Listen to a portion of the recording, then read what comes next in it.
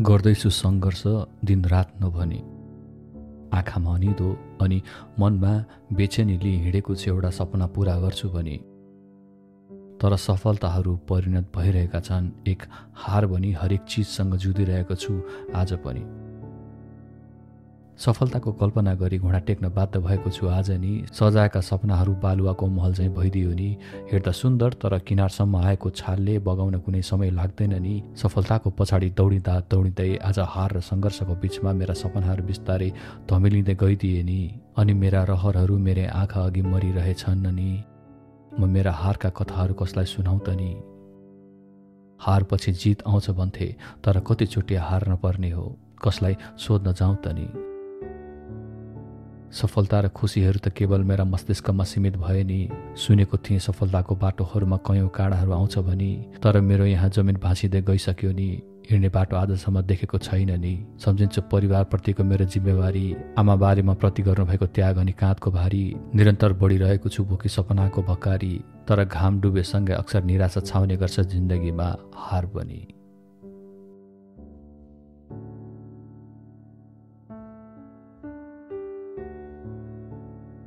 म प्युठानको एउटा दुर्गम गाउँमा जन्मिएको मान्छे।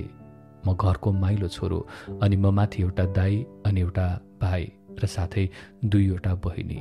हाम्रो बाबा आमा हामी नजन्मिँदै हजुरबा हजुरआमाबाट छुट्टिएर बस्नुभएको अनि हजुरबाबा हजुरआमा चाहिँ कान्छो अङ्कल अनि साइलो अङ्कलसँगै मिलेर बस्नु भइरहेको अवस्था थियो। अहिले पनि उहाँहरू सँगै बस्नुहुन्छ तर मेरो बुवा अनि माइलो अङ्कल भने पहिले नै आमा बुवाबाट छुट्टिएर बस्नुभएको।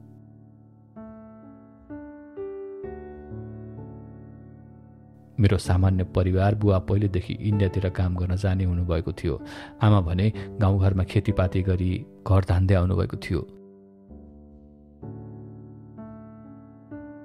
बुवाले इन्डियामा काम गर्नुहुन्थ्यो।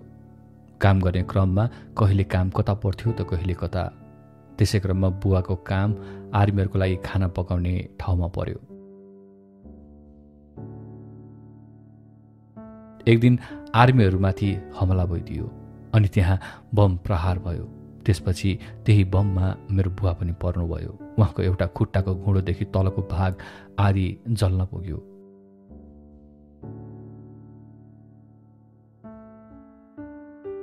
बुबा जस्तो तसो गरेर नेपाल फर्किनुभयो। उहाँलाई उहाँको साथीहरूले नेपालसम्म ल्याएर दिएका थिए।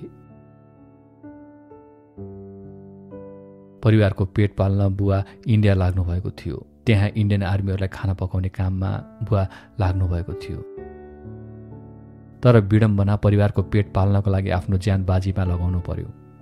यसरी बुवा जलेको खुट्टा लिएर नेपाल फर्किनुभयो आफ्ना साथीहरूको मद्दतले। त्यसपछि नेपालको अस्पतालमा उहाँलाई उपचारार्थ राखियो। बुवाको खुट्टाको घुँडा तलदेखि माथिसम्म जलेको कारणले उहाँको खुट्टामा सरिया हालेको थियो। अनि बाहिरको छाला भने अर्कै खुट्टाको अलिकति काटेर अनि अलिअलि आफ्नै शरीरको मासु तासेर राखिएको थियो।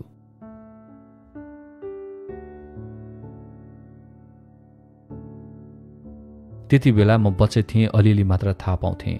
पछि बुवा आमालाई सोद्धा यस्तै भयो भन्नुहुन्थ्यो। त्यसपछि बुवाको खुट्टा हेर्दा जतासुकै टाटै टाटा मात्रै हुन्थ्यो। सायद त्यही मासु काटेको टाटा थियो त्यो। यसरी बुवाको त्यो अवस्था यस्तो भएपछि बुवा घरमै बस्न थाल्नुभयो। उहाँ धेरै टाढासम्म हिँड्न नसक्नु हुने भयो। यहाँसम्म कि दिसा पिसाब जानको लागि पनि बैशाखी वा लौरोको सहारा लिनुपर्ने भयो। उहाँ लौरो बिना उठ्न पनि नसक्ने हुनुभयो। त्यस बेला लगभग म पाँच वर्षको थिएँ होला। बुवाको त्यो अवस्था हुँदा अलिअलि मात्र थाहा पाएको थिएँ। बुवाको त्यस्तो हालत भएपछि हाम्रो परिवारमा निकै दुःख पर्न लाग्यो। दुःख त पहिलेदेखि पनि थियो तर बुवाले कमाउन नसकेपछि झन् दुःख आउन थाल्यो। आमाले गाउँघरमा तरकारी अन्न रक्सी यस्तै यस्तै कुराहरू बेचेर घर चलाउन लाग्नुभयो। मेरो बाल्यकाल घाँस दाउरा वन जङ्गल खोला नाला यसै गरी बित्न लाग्यो।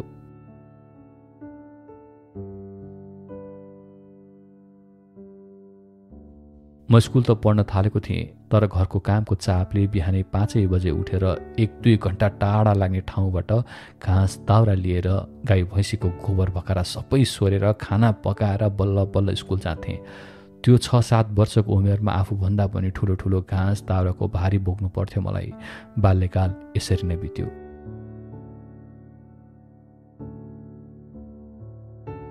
बुवाले गाउँमै पसल खोल्ने विचार गर्नुभयो।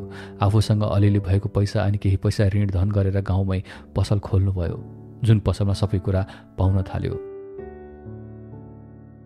त्यही पसलमा उहाँले होटेल पनि थाप्न थाल्नुभयो। अब त्यो होटेल अनि किराना पसलमा परिणत भयो। बुबा आमा त्यही पसल चलाउन थाल्नुभयो। हामी पढ्दै गयौँ। बिस्तारै बिस्तारै राम्रो हुँदै गयो। घर राम्रै चल्न थाल्यो।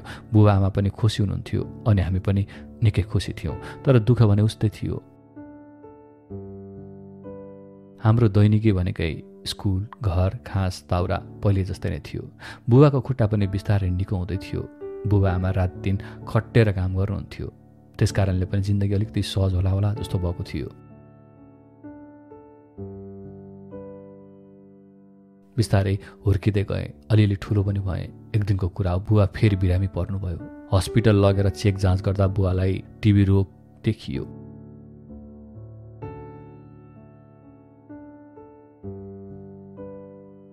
त्यसै त केही समयदेखि निकै खोक्नुहुन्थ्यो। सामान्य खोकी होला भनेर खोकीको औषधि लिएर खान थाल्नुभएको थियो। धेरै समयसम्म पनि ठिक नहुँदा बल्ल हस्पिटलमा भिडियो एक्सरे गरेर हेर्दा थाहा भयो कि बुवालाई टिबी रोगले ग्रसित पारिसकेको रहेछ। अनि बुबालाई टिबी रोग लाग्नुको मुख्य कारण भनेकै उहाँले सेवन गर्ने रक्सी। हो रक्सीकै कारण थियो होला सायद।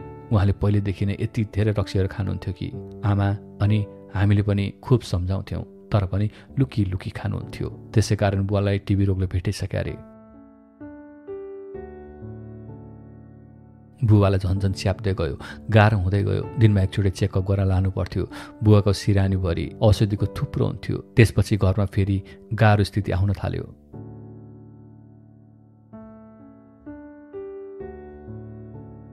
सबै समय बुवालाई ध्यान दिनुपर्ने भएपछि पसल कसैले चलाउन सकेन र निकै नराम्रो हुँदै गयो पसल पनि। थोरै पैसा आउने बाटो त्यही थियो। बुवा बिरामी परेर लडेपछि पसलको हालत पनि बुवा जस्तै लड्यो। उधारो लानेहरूले समयमा पैसा दिन मानेनन्। सामान हाल्ने पैसा पनि थिएन। अलिअलि कमाइ भएको पनि बुवाको औषधि किन ठिक्क हुन्थ्यो? बुवाको हालत झन झन नाजुक हुँदै गयो।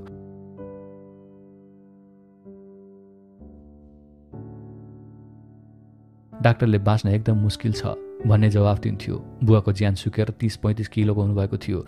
बुवा झन्झन उठ्न नसक्ने अवस्थामा हुनुहुन्थ्यो। यहाँसम्म कि खाने अनि दिसा पिसाब गर्ने पनि सबै बिस्ताराबाटै हुन्थ्यो। बुवालाई सुत्न छुट्टै ठाउँ बनाइदिएका थियौँ।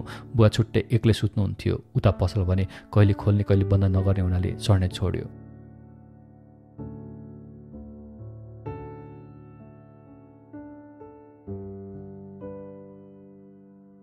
यता खेती गर्नुपर्ने गाई भैँसी हेर्नुपर्ने उता बुवाको त्यस्तो हालत यता पैसा छैन। कसैलाई सरसापेटी माग्दा कसैले दिँदैन थिए। यहाँसम्म कि बुवालाई औषधि किन्न पैसासम्म नहुन थाल्यो।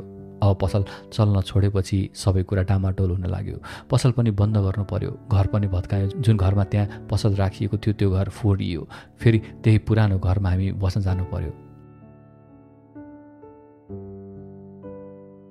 पसल भएको घर गाडी हिँड्ने बाटोको छेउमै थियो। तर त्यो घर बुवाले पसल गर्नको लागि बनाउनु भएको कारणले पसल नै नरहेपछि त्यहाँ बस्ने कुरो भएन पुरानो घर भने बाटोदेखि दस मिनट माथि पर्थ्यो।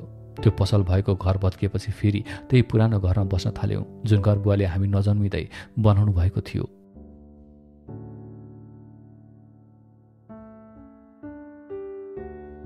दिनरात घरमा रुवाबासी चल्थ्यो। एकातिर पैसा हुँदैन थियो भने अर्कातिर घरमा खाने अन्न हुँदैन थियो। त्यसैमाथि बुवा बिरामी जिन्दगी साह्रै कष्टकर हुँदै गयो। त्यसपछि मैले स्कुल छोड्ने निर्णय गरेँ।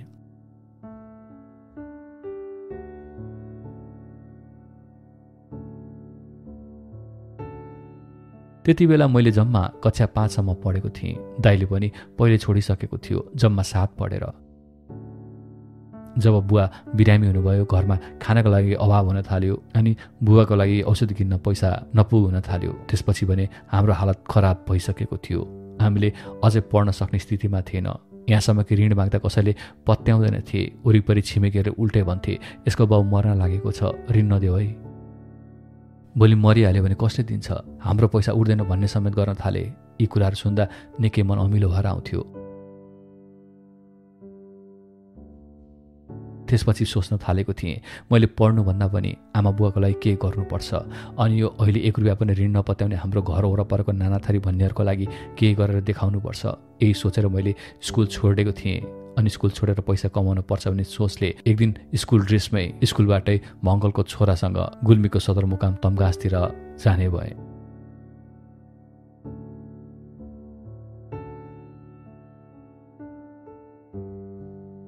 ऊ पहिले तम्घासमा थियो। म घरमा आमा बुवालाई भनेर जान लागेको भए पक्कै रोक्नुहुन्थ्यो। त्यस कारणले म नभनिकन तम्घास भागेँ। त्यस बखत मसँग एक रुपियाँ पनि थिएन। बाटोमा केही कुरा भेट्यौँ भने त्यही खान्थ्यौँ नत्र पानी मात्र पिएर हिँड्ने गरेका थियौँ। एकदमै भोक लागिरहन्थ्यो। यस्तो भोक लाग्यो यस्तो भोक लाग्यो। भोकले आँखा देख्न सकिएन। कोही मान्छे भगवान् भनेर आइदिए। त्यसैले होला सायद जरुरतमन्दलाई आवश्यकतामा सहयोग गर्नुपर्छ भनेको। हाम्रो कपडाको हालत देखेर हाम्रो अनुहारको निन्याउरोपन देखेर होला सायद त्यो मान्छेलाई दया लागेछ। उसले हामीलाई बोलाएर परुटे किनेर खान दियो। हामीलाई लाख भयो। जय जयकार गऱ्यौँ त्यहाँ हामी खुसी हुँदै खायौँ अनि काम खोज्नतिर फेरि लाग्यौँ धमगासतिर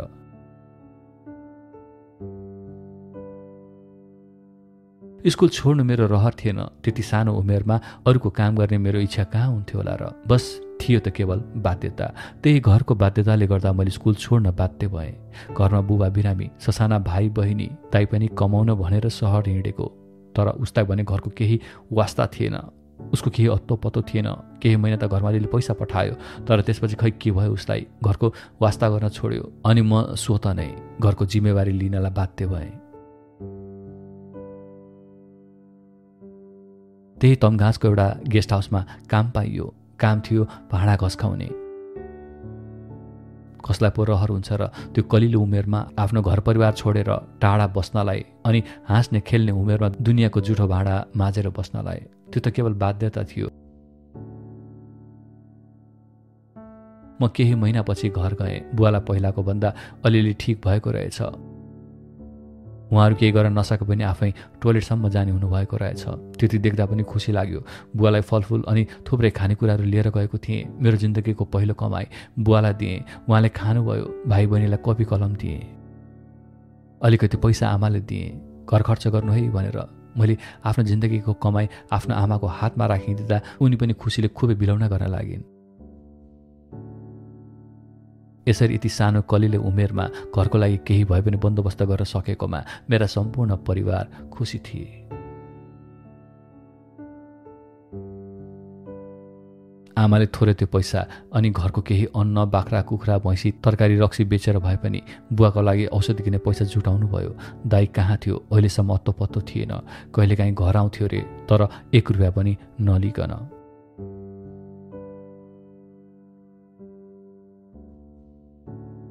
म पनि जति कमाए पनि घरमा दिने गर्थेँ आफूले नखाइ नखाए भए पनि घरमा आवश्यक हुन्छ भनेर पैसा जम्मा गर्ने गर्थेँ। यसैले आफू मोजमस्ती गर्नुभन्दा पनि घरमा दिनुपर्छ भन्ने चेतना ममा त्यति बेला नै जागृत भइसकेको थियो। जब मैले स्कुल छोडेको थिएँ त्यसबेला मनमा केही कुराहरू सपना बनेर दिमागमा बसेको थियो। त्योभन्दा पहिले मेरो सपना केही थिएन। बस पढाइ काम अनि यति मात्रै कि मैले घरमा काम गर्नुपर्छ। अरू केही सोच थिएन। तर जब बाबा बिरामी हुनुभयो र आफन्तले वचन लगाउन लागे त्यसपछि भने यो सानो उमेरमै मैले घरको जिम्मेवारी बोकेर सहर पस्नुपर्छ अनि कहिले हातले भए पनि दुनियाँको जुठो भाँडा माझेर भए पनि आमा बुवालाई सहयोग गर्नुपर्छ भन्ने अठोट बनाएको थिएँ। हामीलाई चिने जानेकाले त ऋण त के? बुवालाई बिरामी हुँदा केही सहयोग नै गर्दैन थिए। सहयोग त परको कुरा। त्यसको सट्टा उल्टै हाम्रो परिवार अनि बुवालाई हेर्ने दृष्टिकोण नै फरक बनाइसकेका थिए। हुन पनि फुटेको कौडी नभएकोलाई कसले राम्रो दृष्टिकोणले हेर्छ र? त्यस कारणले पनि मेरो दिमागमा नयाँ सपना पलाएको थियो कि जसरी भए पनि पैसा कमाउँछु म मेरो बुवालाई जसरी पनि ठिक पार्छु अनि मेरी आमालाई सधैँको लागि सुख र खुसीमा राख्छु। एक दिन जसरी भए पनि हाम्रो परिवारले सुखको दिन देख्नेछ। यही सोचेर मैले पहिलेको पुरानो पसल जुन बुवा आमाले गर्नुभएको थियो त्यो स्वयं आफैले गर्नेछु बस मेरो सपना यही थियो। पुरा हुन्छ वा हुन्न अनि कति समयमा पुरा हुन्छ त्यो थाहा थिएन तर अठोट भने मनमा थियो।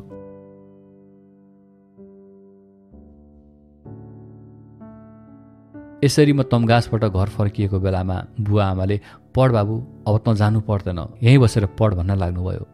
मेरो मनमा पनि पढ्ने मन त नभएको कहाँ हो र तर घरको अवस्थाले जान सक्दिनँ थिएँ। दाई आफ्नै पारामा हिँड्थ्यो। आमाले अलिअलि सामान बेचेर कमाएको पैसाले बुवाको औषधि किन्न पुग्दैन थियो। त्यसैले पनि मैले पढ्नुभन्दा पैसा कमाउनु जरुरी थियो। मैले बुवा आमाले पढ भनेर दिनुभएको सल्लाह लिन सकिनँ। फेरि म केही दिनको बसाएपछि तमघाँस फर्किएँ अनि फेरि त्यही होटेलमा काम गर्न थालेँ। काम गर्दा गर्दा एकदम गाह्रो हुन्थ्यो। आफूभन्दा पनि ठुलो भाँडाभित्र पसेर भाँडा टल्काउनु पर्थ्यो। समय बिहान पाँच बजेदेखि रातिको कहिले त दस बाह्र बजेसम्म पनि काम गर्नु पर्थ्यो। दुनियाँको जुठो पानीले गर्दा हात खुट्टा सबै कुहिने लागिसकेको थियो। तर मैले हरेस भने कहिले पनि खाइनँ। जे हुन्छ राम्रोको लागि हुन्छ भने खोटिरहेँ भाँडा र साथै आफ्नो ज्यानलाई पनि। जे जस्तो भए पनि आफ्नो सपना पुरा गर्नु थियो मलाई। सपना पुरा गर्नको लागि पैसाको जरुरत थियो मलाई अनि पैसा कमाउनको लागि काम गर्न जरुरत थियो। त्यसैले मैले काममा कहिले पनि ठगिनँ जे जस्तो काम लगाए पनि अरूभन्दा पहिले अगाडि सरेर काम गर्न लागेको थिएँ। केही महिना त बुवाको अवस्था अलिअलि ठिक भयो तर फेरि उस्तै हुन थाल्यो। पहिलाको जस्तै दिसा पिसाब ओछ्यानमा गर्नुपर्ने अवस्था हुन थाल्यो। यति थाहा भएपछि म फेरि घर फर्किएँ। बुवा एकदमै बिरामी हुनुभएको थियो। सायद समयमा औषधि खान नपाएर होला। पहिले अलिअलि भए पनि ठिक हुनुभएको बुवा। झन् यस्तो देखेपछि झन् डर लाग्न थाल्यो। जब मसँग अलिअलि पैसा हुन्थ्यो मैले पठाएको पैसामा अलिअलि आमाले थपेर भए पनि बुवाको औषधि किन्नुहुन्थ्यो तर मसँग पनि सधैँ पर्याप्त हुँदैन थियो कसरी औषधि किन्नु? आमासँग पनि त त्यो क्षमता थिएन कि बुवालाई समयमा औषधि किनेर दिनको लागि। सायद त्यसै कारणले बुवाको अवस्था पहिलेको भन्दा पनि नाजुक भएको होला। बुवालाई यसरी भएन अब जे उपाय गरेर हुन्छ ठिक पार्नुपर्छ भन्ने मलाई लाग्यो। अब यसपालि म तमघास होइन इन्डिया जान्छु भन्ने निर्णय गरेँ किनकि तमघासमा कमाएको पैसा एकदमै कम हुन्थ्यो। त्यसैले इन्डियातिर गयो भने अलि धेरै राम्रो कमाइ हुन्छ कि भन्ने लाग्यो। म गाउँको अङ्कलसँग इन्डिया जाने भएँ। र यसरी म इन्डिया पुगेँ।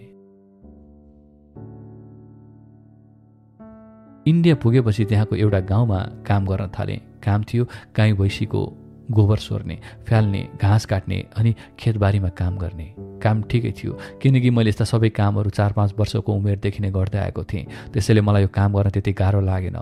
काम ठिकै लाग्यो। पैसा पनि तमगासको भन्दा अलिक धेरै नै थियो। काम गर्न थालेपछि मैले घरमा पैसा पठाउन थालेँ। घरमा आमा बुवाका लागि औषधि किन्ने पैसा पठाउँथेँ जति कमाउँछु सबै घरमै पठाउँथेँ। मैले अझै अलिक धेरै पैसा हुन्छ कि भनेर त्यहाँ काम गर्दा गर्दै अर्को ठाउँमा पनि काम खोजिसकेको थिएँ। मैले अहिले गर्ने ठाउँमा दिनको दुई तिन घन्टा काम हुँदैन थियो। त्यही मौका छोपेर म अर्को ठाउँमा गएर काम गर्थेँ। यतादेखि मलाई अलिअलि भए पनि पैसा जोगिरहेको थियो। त्यही पैसा अनि यताउता काम गरेको पैसा मिलाएर म घरमा निरन्तर पैसा पठाउँथेँ। घरमा कहिलेकाहीँ फोन गर्थेँ। बुवाको अवस्था बुझ्नको लागि। आमा बुवाको अवस्था झन् नराम्रो भएको छ भन्नुहुन्थ्यो। आमाले बुवासँग बोल्नको लागि फोन दिनुहुन्थ्यो तर बुवाको बोली निस्काइँदैन थियो फोनमा। उहाँ बोल्नै नसक्नु हुनुभएको थियो। जे जस्तो भए पनि मैले काम गर्न छोडिनँ काम गर्थेँ अनि पैसा पठाइरहन्थेँ।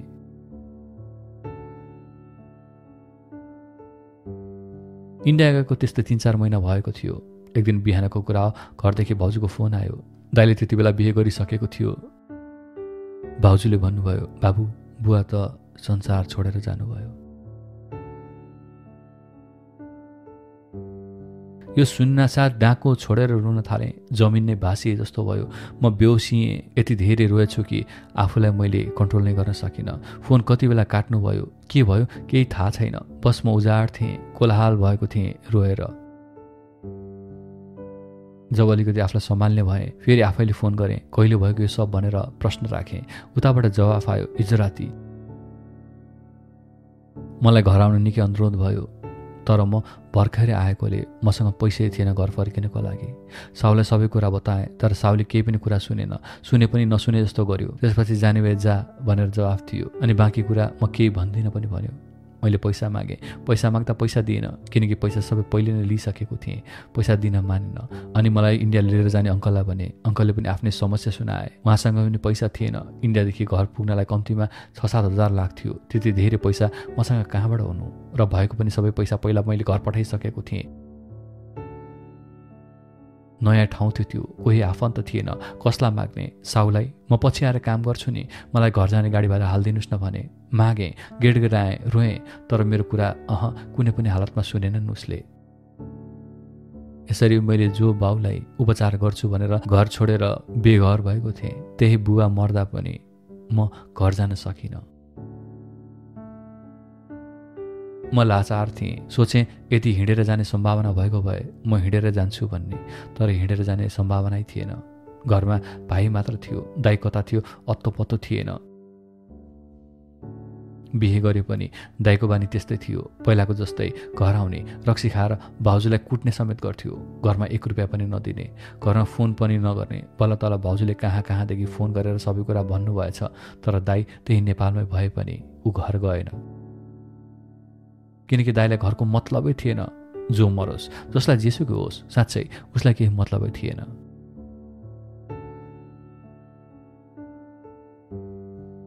ऊ नेपालमै थियो बुवाको अन्तिम दर्शन गर्न जान सक्थ्यो। अह तर ऊ गएन। यता म भने पैसाको कारणले जान पाइनँ। सानो भाइले बुवाको सबै कामहरू गर्यो। त्यो पल अनि त्यो पलहरू त्यो पलहरूको यादमा म यति धेरै रोएँ कि शब्दमा बयान गर्न सक्दिनँ। मेरो दिन त्यही पलको सम्झनाहरूको आँसुमा बग्न थाल्यो। हर दिन बुवाको यादहरूले मलाई खान थाल्यो। मैले जिन्दगीमा कुनै सपना लिएको थिइनँ।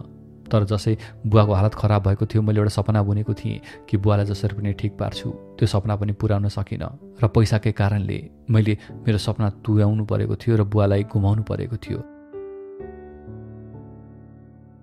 यसरी म अझै त्यहाँ चार पाँच महिना बस्नु पर्यो। त्यसपछि म केही पैसा लिएर घर गएँ। बुवाको काम अर्थात् मैले गर्नुपर्ने बुवाको काजक्रिया गरेँ। बुवालाई घरदेखि अलि पर दस मिनट जस्तो लाग्ने ठाउँमा गाडेको थियो किनकि हाम्रो गाउँघरतिर गाड्ने चलन भएकोले बुवालाई पनि घरदेखि नजिक रहेको ठाउँमा गाडेको थियो। म त्यहाँ गएर बुवालाई गाडेको ठाउँमा गएर धेरै बेरसम्म रोएँ। घरमा केही दिन बसेँ तर खै किन हो किन? घरमा बस्न मन लागेन। घरमा के नभएको के नभएको जस्तो हुन्थ्यो। खान मन लाग्दैन थियो सुत्न पनि मन लाग्दैन थियो। त्यसैले म काठमाडौँ जान लागेँ अनि गाउँकै साथीसँग काठमाडौँतिर लागेँ। साथी भने पहिले नै काठमाडौँमा गएर काम गर्थ्यो। म पनि उसैको पछि लागेर काठमाडौँ पुगेँ। त्यहाँ पनि काठमाडौँको नयाँ बानेश्वरमा एउटा होटेलमा मलाई भाँडा माझ्ने काम लगाइदियो र ऊ आफ्नै कामतिर लाग्यो। म त्यही काम गर्न थालेँ। ती दिनहरूमा म यही सोच्थेँ कि मैले मेरो बुवालाई पैसाको कारणले गुमाएँ। अब यति धेरै पैसा कमाउँछु कि एक दिन मसँग पनि यति धेरै पैसा हुन्छ कि मेरो बा आमाले गर्न नसकेको त्यो पसल एक दिन म आफै गर्छु। मैले मेरो बुवालाई त गुमाएँ तर मेरो सपनालाई भने कहिले घुम्न दिन्न। थाहा छैन पुरा हुन्छ वा हुन्न तर यो सपना भने मैले कहिले पनि मार्दिनँ। त्यस कारणले मिहिनेत गरेर केही महिना त्यही भाँडा मज्ने ठाउँमा काम गरेँ। पछि पैसा राम्रोसँग दिएन अनि अर्को ठाउँमा जाने विचार गरेँ। एकजना मैले चिनेको दाई मार्फत एयरपोर्टभित्र क्यान्टिनमा काम पाएँ। त्यहाँ पहिलेको ठाउँभन्दा अलिक धेरै पैसा दिने भएको थियो। त्यसैले त्यहाँ गएर बिहानको पाँच छ बजीदेखि रातिको बाह्र बजीसम्म चल्ने त्यो क्यान्टिनमा भाँडा माझ्नु पर्थ्यो। त्यहाँ भाँडा यति धेरै हुन्थ्यो कि खाना खाने फुर्सदसम्म मिल्दैन थियो। बिहानको खाना दिउँसोको तिन चार बजे र साँझको राति बाह्र बजे अथवा एक बजे खान्थ्यौँ हामी। साथीहरू सबैजना जस्तो म जस्तै दुःख पाएका थिए। सबै मिलेर काम गर्थ्यौँ। तर कुकहरू पनि हामीलाई साह्रै हेप्थे। भाँडा मात्नेहरू भनेर होला हामीलाई घृणा गर्थे। किचनभित्रसम्म जान दिँदैन थिए। अनि ती हेपाइहरू देख्दा गालीहरू सुन्दा म पनि एक दिन कुक बन्छु भन्ने लाग्यो। कुक मात्रै होइन एक दिन ठुलो कुक अर्थात् सेफ बन्छु भन्ने कुरा मनमा खेलाउँदै उनीहरूलाई नै मनमा नै गाली गर्थेँ। पख त्यो मलाई देखाउँछु भन्दै। केही महिना त्यहाँ काम गरेँ। अनि फेरि कहिले कहाँ कहिले कहाँ यसरी नै काठमाडौँको होटल रेस्टुरेन्ट क्यान्टिनहरूमा काम गर्दै गएँ। बिस्तारै किचनको कामहरू सिक्न थालेँ। दुई तिन वर्ष भाँडा माझ्ने क्रममा किचनको कामहरू पनि सिक्दै गएँ अनि म कुकमा काम गर्न थालेँ। तलब पनि राम्रै हुन थाल्यो। घर नगएको पनि यसरी तिन चार वर्ष भयो। खै कुन्नी किन हो? जुन दिन बुवा बित्नुभयो त्यस बेलादेखि घरमै बस्न मन नलाग्ने भएको थियो। घरै जान मन लाग्दैन थियो। यता मेरो सपना पनि थियो। सपना पुरा गर्नु पनि त थियो। त्यसै कारण पनि म छोटो समयमा घर जाँदै जाँदैन थिएँ। घरमा पैसा खर्च भने महिना महिनामा पठाइरहेको हुन्थेँ। तर घर अह जान छोडिसकेको थिएँ।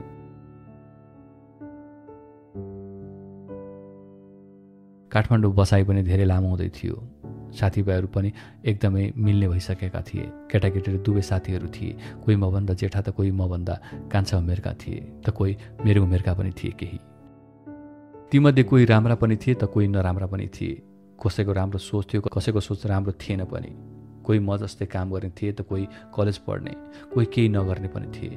कोही धनी पनि थिए त कोही गरिब पनि र कोही म जस्तै ठिकै खाना लाउन पुग्ने हाले पनि थिए। मेरो स्वभावै त्यस्तै थियो कि म सानैदेखि मान्छेहरूसँग छिटो घुलमिल हुन सक्थेँ जोसँग पनि हाँसेर बोलिदिन्थेँ। त्यसै कारणले पनि मसँग धेरै छिटो नजिक हुन्थे मान्छेहरू सबैजना। कोही काम गर्दा भेट्ने थिए त कोही घुम्न जाँदा कोही हिँड्दा हिँड्दै पनि भेटिन्थ्यो। नेपालका सबै जिल्लाको साथीहरू थिए होला सायद मेरा।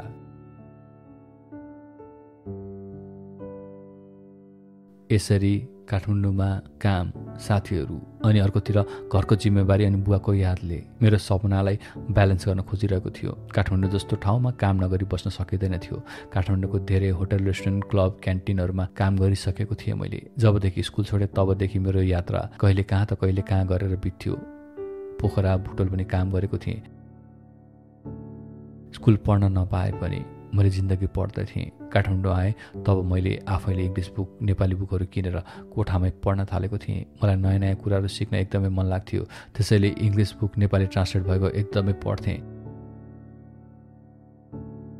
युट्युब मार्फत पनि मैले पढ्न थालेँ र साथसाथै मोटिभेसनल भिडियोहरू एकदमै हेर्न थालेँ अनि ठुला व्यापारीहरूको इन्टरभ्यू यस्तै यस्तै कुराहरू खुब हेर्न रुचि राख्न थालेँ।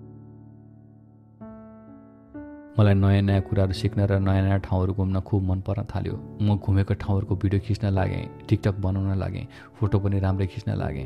त्यसै क्रममा मैले साथीहरूको बाइक पनि सिकेँ पछि ड्राइभिङ सेन्टरमा गएर गाडी पनि सिकेँ र अरू पनि थुप्रै कुराहरू सिकिरहेको थिएँ। साथीहरूको क्यामेराहरू हुन्थ्यो क्यामेरा चलाउन पनि सिकेँ यहाँसम्म कि गिटार बजाउन पनि सिकेँ र डान्स पनि सिक्न जान्थेँ। समय मिलाएर डान्स स्टुडियो पनि पुग्थेँ। मलाई सिक्ने चाह यति थियो कि यस्तै यस्तै नयाँ कुराहरू जे भए पनि म सिकिहाल्थेँ सिक्न मन लागिहाल्थ्यो। मेरो सोच यो थियो कि चुरोट रक्सी खाएर पैसा उडाउनुभन्दा बरु नयाँ नयाँ ठाउँमा घुम्न जाने साथीहरूसँग सङ्गत गऱ्यो भने धेरै ठाउँमा टुर अनि पिकनिक पनि जान पाइन्छ। धेरै कुरा सिक्न पाइन्छ देख्न पाइन्छ। त्यस कारणले पनि म धेरै घुम्न रुचाउँथेँ। फजुल खर्चभन्दा आफ्नो लुगा राम्रो होस् भन्ने चाहन्थेँ अनि नयाँ कुरा सिकौँ भनेर सिकारु बनिरहन्थेँ। मेरो ग्रुपमा यस्ता धेरै साथीहरू थिए जो लागु र मादक पदार्थहरू सेवन गर्थे। तर मैले भने जिन्दगीमा कहिले पनि जाँड रक्सी सुर्ती चुरोट गाँजा सेवन पनि गरिनँ। साथीको भएपछि थोरै कर त लगाइहाल्थे थोरै खान के पनि हुँदैन भनेर तर मैले कहिले पनि मानिनँ। कहिले पनि यो कुरामा हात हाल्दिनँ भनेर प्रण गरेको थिएँ। जस्तो सुकै पार्टी होस् घुम्न जाँदा होस् साथीहरू रक्सी पिउँथे तर म भने जुस र फलफुल र अन्य खानेकुराहरू खान्थेँ।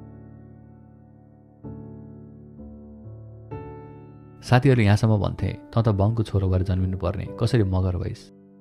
जाँड रक्सी त छुँदै छुँदैनस् भनेर जिस्काउँथे। मान्छेहरू भन्छन् कुनै एउटा चुरोट गाँजा खाने मान्छेसँग हिँड्यो भने ऊ पनि त्यस्तै हुन्छ। र हाम्रो समाज पनि त यस्तै छ। कुनै एउटा बिग्रिएको मान्छेसँग हिँड्यो भने उसको छोराछोरी पनि बिग्रिन्छ उस्तै भनेर। र त्यसको दोष उसको आमा बुवासम्म पुग्छ कि तेरो छोरोले मेरो छोरी बिगार्यो तेरो छोरीले मेरो छोरा बिगार्यो अथवा तेरो छोराले मेरो छोरो बिगार्यो। यस्तै खाले लालचना लगाउने समाज जो छ हाम्रो तर मुख्य कुरा आफ्नो चाहना विपरीत कसैले पनि कसैलाई जबरजस्ती बिगार्न सक्दैन।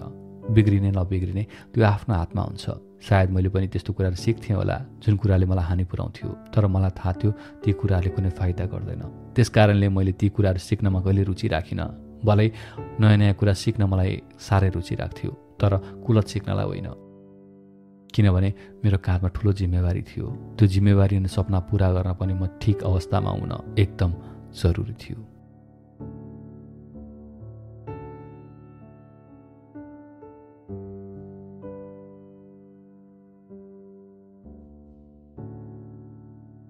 यसरी काठमाडौँको गल्लीमा ती सपनाहरूको पहाड बोकेर हिँडिरहेको थिएँ म। थाहा थिएन कहाँ गएर यो जिन्दगी समाप्त पो हुने हो कि भनेर। तर यो यात्रा भने निरन्तर अगाडि बढाउँछु भन्ने लागिरहेको थियो। कहिलेकाहीँ काम गर्दाखेरि सोच्ने गर्थेँ मेरो कुनै टुङ्गो नै छैन। कहिले कता काम त कहिले कता काम। यसरी म घरविहीन त भएको थिएँ तर कामको ठेगानाविहीन पनि भएको थिएँ। मेरो ठेगान थिएन कहिले कता काम गर्नुपर्ने कहिले कता काम गर्नुपर्ने। यसरी ठेगान नभएको काम र भएको ठेगानामा पनि काम पर्दा मात्र जाने भएको थिएँ म। अर्थात् घरमा हप्ता दस दिनको लागि मात्र जान्थेँ। त्यो पनि धेरै समय पश्चात।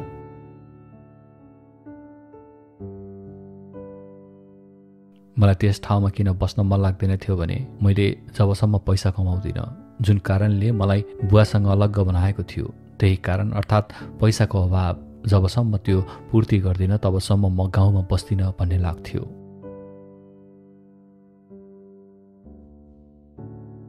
बुवालाई त परिवारमा गुमाइसकेको थिएँ। अब मेरो परिवारको अन्य सदस्यलाई पनि पैसाकै कारण औषधि खान नपाएर बुवाको जस्तै हालतले मर्न नपरोस् भन्ने चाहना थियो मेरो। त्यसैले पैसाको लागि रात दिन काम गर्ने अठोट गरेको थिएँ।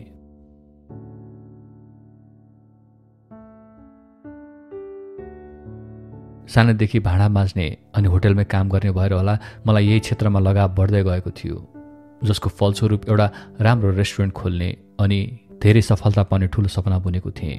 त्यही सपनाको लागि मैले कमाएको पैसा अलिअलि घर खर्च पठाउँथेँ। अलिकति आफूलाई खर्च हुन्थ्यो बाँकी आफ्नो खातामा जम्मा गर्थेँ ताकि म रेस्टुरेन्ट खोल्न सकौँ। मेरो सपना काठमाडौँमा राम्रो रेस्टुरेन्ट खोल्ने अनि आमालाई काठमाडौँमा लिएर आउने त थियो नै तर त्यो सपना पुरा गर्न त्यति सजिलो पनि थिएन।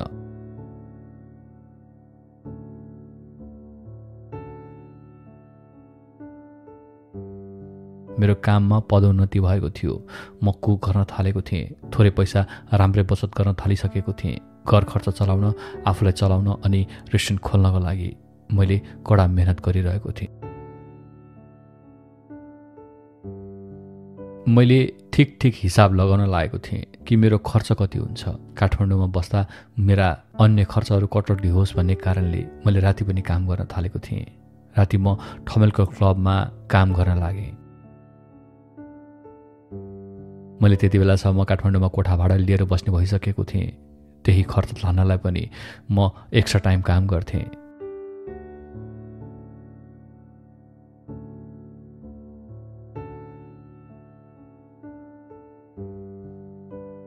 मेरो दिनचर्या बिहानको सात बजेदेखि दिउँसोको तिन बजेसम्म एउटा रेस्टुरेन्टमा काम गर्ने अनि साँझ आठ बजेदेखि बिहान चार बजीसम्म क्लबमा काम गर्ने। यसरी मैले थोरै समय मात्र आफूलाई आराम दिएर काम गरिरहन्थेँ। रेस्टुरेन्टको सब मैले चिनेकै दाई हुनुहुन्थ्यो। त्यसै कारणले पनि अर्को ठाउँमा काम गर्न सजिलो भयो। मलाई कहिलेकाहीँ गाह्रो भयो भने आउँदिन है भन्दा पनि हुन्छ रेस्ट कर भन्नुहुन्थ्यो। कति कडा मेहनत। दिनमा तिन घन्टा चार घन्टा मुस्किलले सुत्थेँ। पाँच सात महिनासम्म त ठुलो जोस र जाँगर पनि थियो होला त्यस कारणले गरेँ। तर शरीरले पनि मान्दै गएन। एकदम गाह्रो हुन थाल्यो। त्यसैले नाइटको काम भने छोड्नु पर्यो।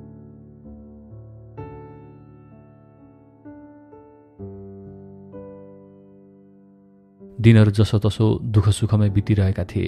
कहिलेकाहीँ साथीहरूसँग घुम्न जान्थेँ। फिल्म हलमा नयाँ फिल्म लाग्न हुँदैन थियो। हामी सबै केटाकेटी हुल बाँधेर चावलको कोपिक स्टलमा फिल्म हेर्न जान्थ्यौँ। त्यो पलहरू साँच्चै हिजो जस्तै लाग्छ। जब साँझ पर्थ्यो सबैजना आफ्नो घरदेखि आउँथे त कोही कामदेखि अनि कोही कलेजदेखि। साँझ परेपछि हाम्रो भेट्ने जक्सन बसन्तपुरमा थियो। कोही साथी गिटार पनि बजाउँथे अनि चिया र चुरोट खानेले चिया चुरोट खाएर वा चुरोट नखानेले चिया मात्रै खाएर हामी सँगै रमाइलो गर्थ्यौँ।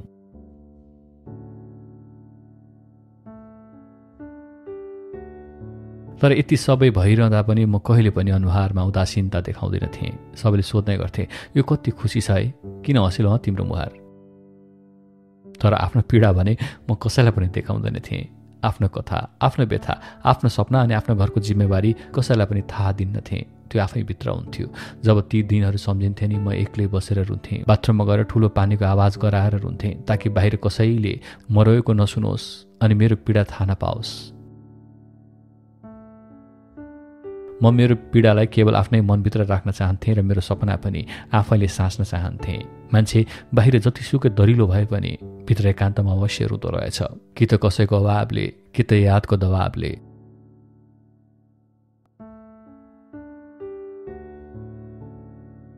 म पैसाको अभाव अनि मेरो पिताको यादको दबावले खुब रोएको हुन्थेँ। कस्तो को रिलेसन थियो मेरो? पैसा र बुवासँग। पैसा नहुनुको कारण बुवा गुमाउनु परेको थियो। बुवा नहुनुको कारणले। अनि जब पैसा कमाउन लाग्दैछु तब बुवा साथमा हुनुहुन्न। खैर बुवा पछिको कर्तव्य मैले निर्वाह गर्नु थियो भाइ बहिनीप्रतिको उनीहरूको पढाइ खर्च घर धान्नु पर्ने अनि आमाको हेरचाह। त्यो सबै आफ्नै काँधमा लिएको थिएँ। सबैले समाजमा भन्ने गर्थे बाबुमुनिको जेठो छोरो उसैले घर धान्छ भनेर। तर घर धान्ने ती जेठो छोरो साह्रै अभागी हुन्छन् रे। सबै जिम्मेवारी आफैमाथि पर्छ रे। तर मेरो भने ठिक उल्टो थियो। मेरो जेठोताली सानैदेखि घरमा केही पनि हेरेन। घरको केही वास्तै नै राखेन। दाइले नहेरेपछि ती घरको सबै जिम्मेवारी मेरो थाप्लोमाथि पर्यो। खै म माइलो छोरो भएर पनि भाग्यमानी भनौँ वा अभागी। सम्पूर्ण पीडाहरू म मात्र बोध गर्थे जस्तो लाग्छ। दाई साँच्चै साँच्चै नै घरप्रति कुनै पनि उत्तरदायित्व बहनै गर्दैन थियो। यी सम्पूर्ण कुरा सम्झेर ल्याउँदा भक्कान फुटेर आउँथ्यो तर पनि साथीहरूले सोद्धा हाँस्दै जवाफ दिन्थे। साथी हो दुई दिनको जिन्दगीमा के छ र यार? भोलि मरियो भने त कसलाई के थाहा र? मेरो जवाब सुनेर साथीहरू दङ्ग पर्थे अनि भन्न लाग्थे तँलाई कुरा गर त कसले जित्न सक्छ र है कसैले ठिक भनेका थिए। यो दुनियाँमा आफ्नो कमजोरी देखाउनु भनेको आफै कमजोर हुनु हो। त्यसैले म आफ्नो कमजोरी आफ्नो पीडा अनि आफ्नो व्यथा कसैलाई देखाउँदैन थिएँ। यसले मेरो आत्मबल गिराउँथ्यो।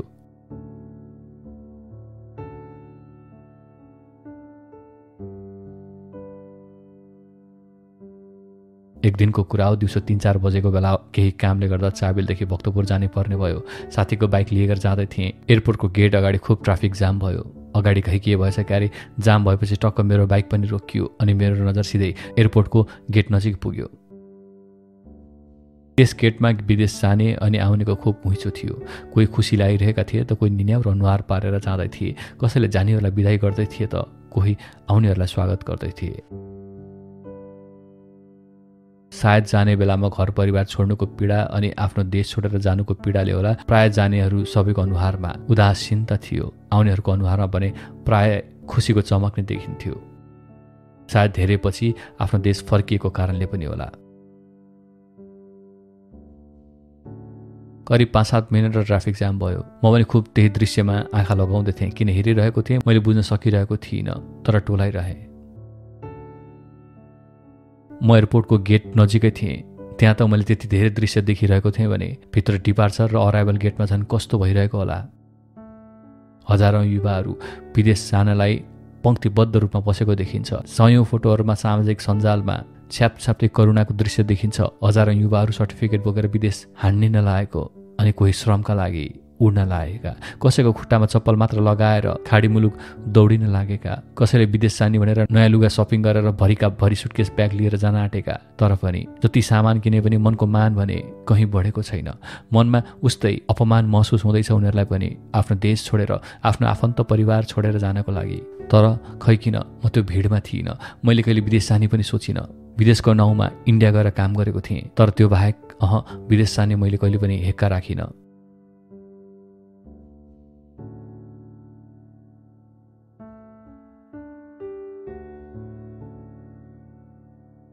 एक्कासी पछाडिबाट गाडीहरूको हर्न बज्न थाल्यो। म जसँग भए जाम खोलिसकेको रहेछ। एयरपोर्टको गेट उछिन्दै म तिनकुने हुँदै भक्तपुरतिर लागेँ। मनमा के के कुरा खेल्दै थियो। अघि एयरपोर्टको गेटको दृश्य फेरि कल्पिँदै थिएँ। कता कता लाग्यो मैले किन विदेश जाने बारे सोचिनँ। यहाँ बसेर महिनाको अठार बिस हजार कमाउँछु तर यही मेहनत मैले विदेशमा गएर गरेँ भने अलिक धेरै त कमाइ हुन्छ नि।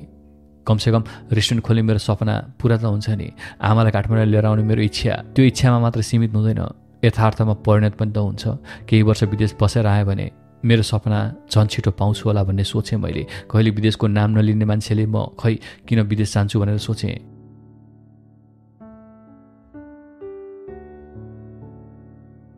यही सोचै सोचमा म भक्तपुर आइपुगेँ केही विशेष कामले आएको थिएँ। त्यो काम केही समयमै सकियो अनि कोठा फर्केँ। कोठा पुगेपछि खाना खाएर सुत्न लागेँ। सुत्न अगाडि दस पन्ध्र मिनट जति म एउटा क्रिया गर्थेँ। जुन क्रियाको मलाई बानी परेको थियो त्यो क्रिया हो किताब पढ्ने। म किताब खोजी खोजी पढ्थेँ तर त्यस दिन भने मलाई किताब पढ्न मन लागेन। आँखामा खै किन फेरि त्यही एयरपोर्टको दृश्य घुमिरह्यो। मनमा सकस भएपछि मोबाइल चलाउन लागेँ। मोबाइल पनि फेरि चलाउनै मन लागेन। निन्द्रा खोजे निन्द्रा समीपमा आइनन्। त्यही एयरपोर्टको दृश्य मात्र दिमागमा घुम्न थाल्यो फेरि। सोच्न थालेँ कि म पनि अब विदेश जाने सोचेकै हो त। यहाँ काठमाडौँ बसेर पनि यति राम्रो कमाइ भएको छैन। यदि विदेश गएको भए त थोरै पैसा बचिसक्या हुन्थ्यो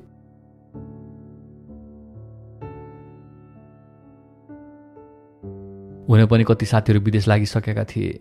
बाँकी भएका साथीहरूले पनि विदेश जाऊ। नेपालमा भन्दा उतै राम्रो हुन्छ भनिसकेका थिए। हुन पनि तिन चार वर्ष अझै दुःख गऱ्यो भने मैले नेपालमा रेस्टुरेन्ट खोल्ने पैसा कमाउन सक्छु। पहिला साथीहरू यस्तो सुझाउँदा पनि अह विदेश त म जाँदै जान्न। जे गर्छु नेपालमै गर्छु भन्ने लाग्थ्यो। तर आफ्नै सोच अहिले एयरपोर्टमा देखेको दृश्य र भोगिरहेको परिस्थितिले गर्दा झसङ्ग भएर सम्झिएँ।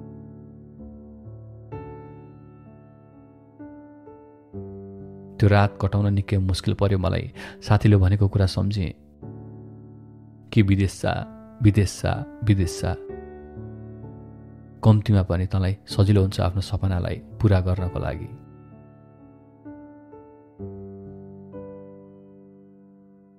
यसरी कल्पिँदा कल्पिँदै बिहान सात बजे बल्ल आँखा खोल्यो। टाउको पत पत पोलिरहेको थियो। आँखाका नानीहरू दुखिरहेका थिए। सायद रातभरि अनिदोमा बिताएको कारणले पनि होला।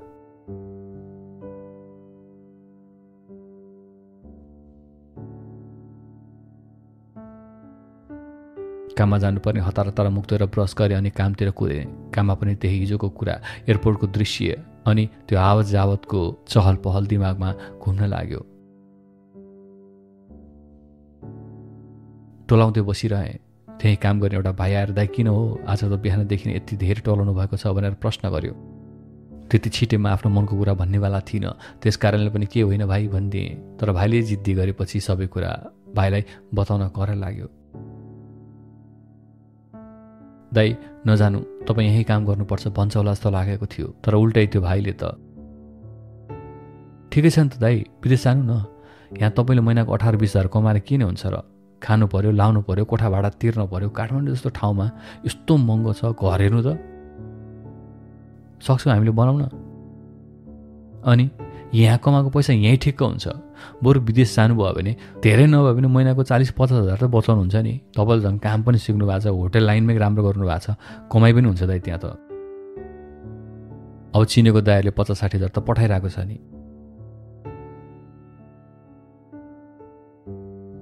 भाइले यस्तरी सम्झायो कि मानौ ठुलो मान्छेले कुरा गरिरहेको छ। त्यसपछि भने मेरो दिमाग घुम्यो केही साथीलाई फोन गरेँ। उनीहरू पनि त्यस्तै सल्लाह दिँदै थिए। नेपालमा बसेर के गर्छस्? जा विदेश। त्यसपछि छटपट्टि भएर मैले घरमा आमालाई नसोधिरहन सकिनँ सोधेँ आमा म विदेश जाने सोचेँ के गरौँ? आमाले जवाफ दिनुभयो किन जानु पर्यो विदेश? विदेश जाने पैसा कहाँबाट ल्याउँछस् बाबु? जानु पर्दैन यहीँ गर। यस्ता खाले कुरा सुनेपछि म दोधारमा परेँ तर मैले अब विदेश जाने कि नजाने भन्ने दोधारमा एउटा कुराले भने मलाई जितिसकेको थियो कि नेपालमा भन्दा विदेशमा राम्रो कमाइ चाहिँ हुन्छ है भनेर।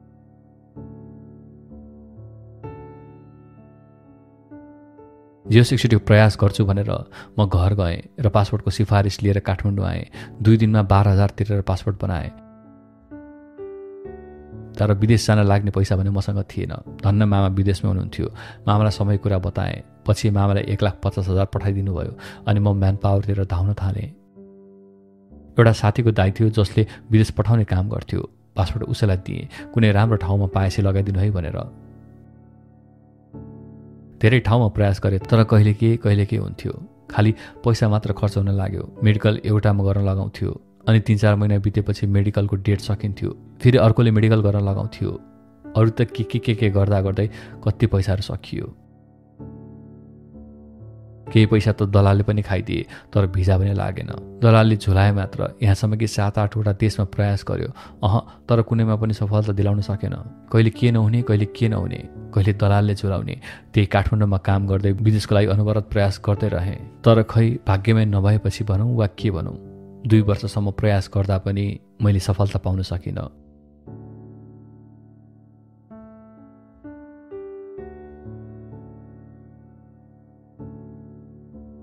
त्यसपछि भने मैले विदेशको चक्करलाई लात हानिदिएँ यहाँ मामाले पठाइदिएको पैसा पनि सकिसकेको थियो। आधा जति त दलालले नै घिचिसकेको थियो। अरू आदि त मेडिकल यताउता के के गर्दा गर्दै सकिएको थियो। म आफूलाई खर्च भने यता काम गरेर जुटाउँथेँ। उता मामाले दिएको पैसा त खरलाई खुर्रूप सकिसकेको थियो।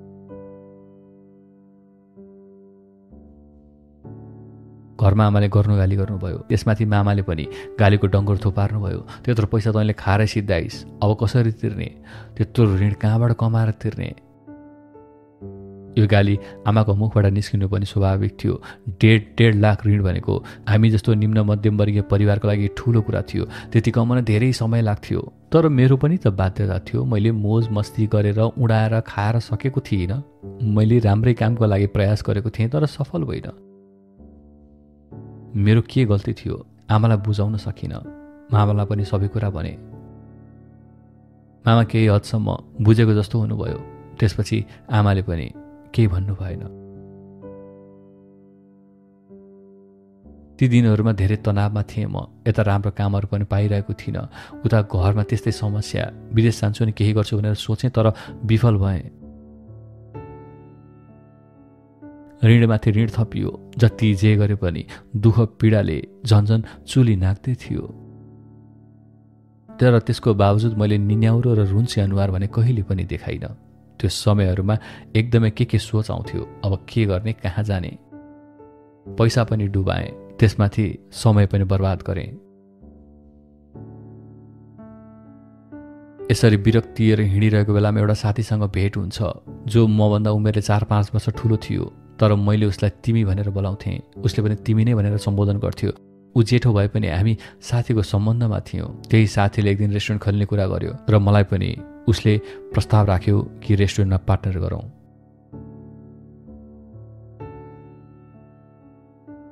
तर मैले त्यत्रो रेस्टुरेन्ट खोल्ने पैसा कहाँबाट लिएर आउनु? मसँग छैन भनेर उसलाई जानकारी दिएँ।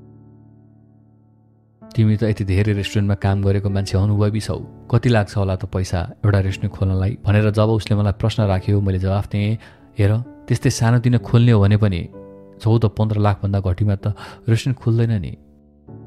तिमीसँग कति पैसा छ? उसले मलाई उल्टा प्रश्न गर्यो। तिमी चाहिँ कति सक्छौ भन न।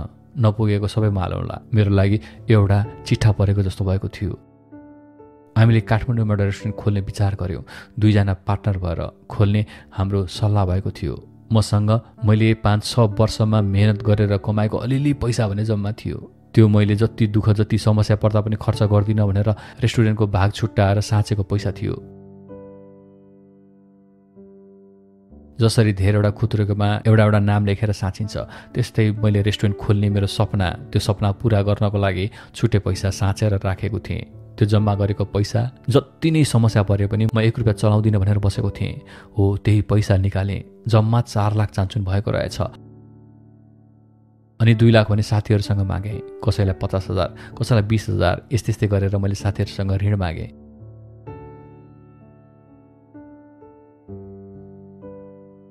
यसरी पैसा जुटाइसकेपछि मसँग रेस्टुरेन्ट खोल्ने साथीले पैसा हाल्ने कुरा भयो। कति लाग्छ नपुगेको पछि मिल्ने सहमतिमा हामीले रेस्टुरेन्ट खोल्ने भयौँ।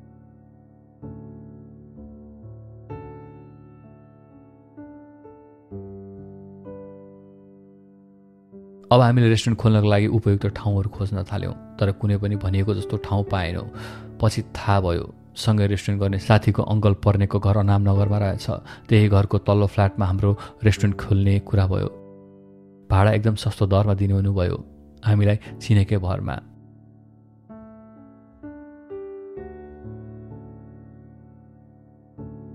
अनामनगर चोकदेखि अलिकति भित्रपट्टि हाम्रो रेस्टुरेन्ट खुल्न थाल्यो।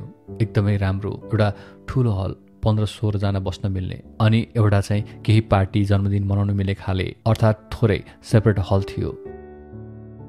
साइडमा एउटा सानो किचन अनि बार र स्टोर सबै कुराको राम्रो व्यवस्था त्यस्तो ठाउँ हामीले पायौँ। रेस्टुरेन्ट खोल्ने तयारीपछि हामीले हिसाब गर्दा सालाखाला त्यस्तै सोह्र लाख रुपियाँ लागेछ। रेस्टुरेन्टको नाम फ्यामिली रेस्टुरेन्ट एन्ड बार राख्यौँ। रेस्टुरेन्टमा केही कुराको कमी थिएन। अरू रेस्टुरेन्टहरूमा जस्तै हाम्रो रेस्टुरेन्टमा पनि सबै कुराहरू उपलब्ध थियो। हाम्रो रेस्टुरेन्टमा यदि कसैको जन्मदिन मनाउनु परेमा उसलाई हाम्रो तर्फबाट एउटा केक पनि उपहार थियो र साथै हुक्का पनि हामी उपहार स्वरूप दिन्थ्यौँ। ग्राहकहरू प्राय सबै हामीलाई राम्रै भन्थे। यो सर्भिस इन्डस्ट्रीमा कस्टमरको सर्भिस नै सबैभन्दा ठुलो कुरा रहेछ।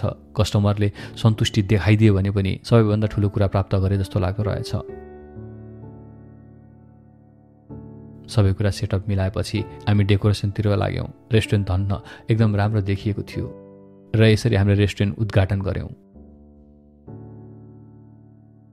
सो क्रममा सानोतिनो पार्टी पनि गऱ्यौँ। मैले मेरा आठ दसजना साथीहरूलाई बोलाएँ भने उसले पनि आफ्नो आठ दसजना साथीहरू बोलायो। हामी बिस पच्चिसजना भएर उद्घाटन गऱ्यौँ। सबैले बधाई स्वरूप हामीलाई साथ दिए। त्यो पल यति धेरै खुसी थिएँ कि म बाहिर कसैलाई देखाउन सक्दैन थिएँ। मनबाट निकै खुसी थिएँ कि मेरो एउटा सपना पुरा हुँदैछ। म सपनाको धेरै नजिक छु भनेर।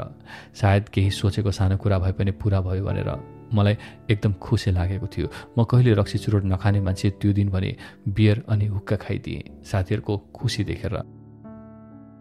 उनीहरू सबैजना मेरो त्यो क्रियाकलाप देखेर टल्ल परेर हेर्दै थिए।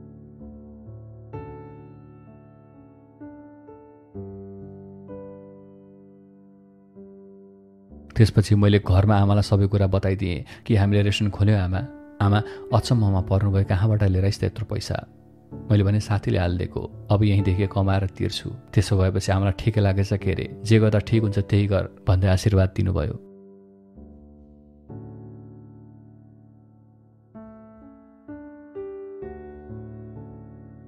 रेस्टुरेन्ट हामीले चलाउन सुरु गऱ्यौँ। चारजना काम गर्ने मान्छे राखेका थियौँ अनि हामी दुईजना प्राय किचनमै काम गर्थ्यौँ।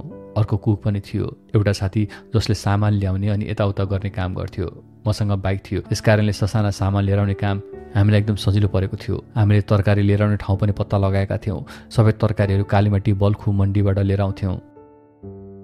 जहाँबाट लिएर आउँदा पसलको भन्दा सस्तो पर्थ्यो। चिनेका मान्छेहरू पनि प्रशस्त भइसकेका थिए। रेस्टुरेन्टको व्यवहारहरू प्रायः मैले नै हेर्थेँ। कता के सेटअप गर्ने आज कुन कुन आइटम बनाउने काम कसरी गर्ने सामानहरू के के खाली छ के के चाहिएको छ सबै कुरा मैले ह्यान्डल गर्न थालेको थिएँ। धेरै होटलहरूमा काम गरेको भएको कारणले पनि होला। मलाई धेरै कुराको नलेज थियो यो बारेमा तर साथीलाई पनि केही पनि थाहा थिएन। त्यस कारणले उसले पनि मलाई नै जिम्मामा छोडिदिएको थियो सम्पूर्ण कुराहरू हेर्नको लागि। मेरो साथी अर्थात् पार्टनरले भने सामानहरू लिएर आउने गेस्टहरूलाई केही समस्या परेको छ कि भनेर हेर्ने काम गर्नेहरूले गेस्टहरूसँग कस्तो व्यवहार गरिरहेको छ त्यसको अवलोकन गर्ने अनि होम डेलिभरी गर्ने कामहरूमा ध्यान दिन्थ्यो। काउन्टरमा एउटा बहिनी राखेका थियौँ। सबै हिसाब किताब उसैले गर्थ्यो अनि साँझ हामीलाई सबै हिसाब बुझाएर जान्थ्यो। यसरी राम्रैसँग एउटा सेटअप बनाएर हामीले रेस्टुरेन्ट चलाइरहेका थियौँ।